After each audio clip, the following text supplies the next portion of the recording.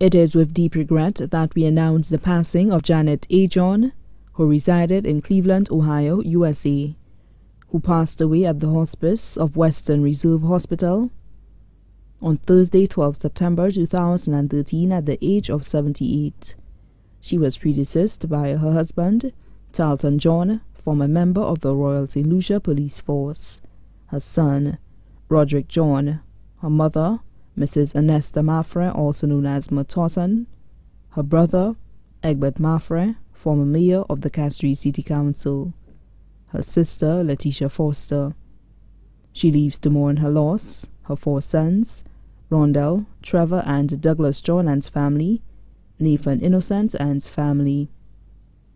Her five daughters, Gloria Webster and's family, Jacqueline Price and's family, Vanessa Hackworth and family, Cheryl Bonner and family, Jennifer John, all residing in the USA.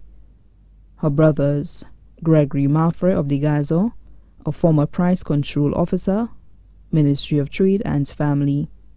Cuthbert Maffre of Corinth, a former accountant in the Ministry of Education and family. Atterbury, Paul and Stephen Maffre, all residing in the United Kingdom. Her sisters, Carol Ayayi and family, Marian Inglis and family, both residing in the United Kingdom, Lauren Brown and family residing in the USA, her sister-in-law, Philippa Maffre and family of Cap Estate.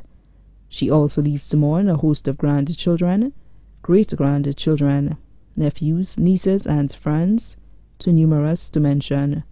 Also left to mourn the Maffre family, both here and overseas, the John family, the Greenidge family, the James, Black, Small, and Lambert families of La Clery. A memorial service to celebrate the life of the late Janet A. John will be announced in a subsequent broadcast. Family and friends are kindly asked to take note. May her soul rest in peace.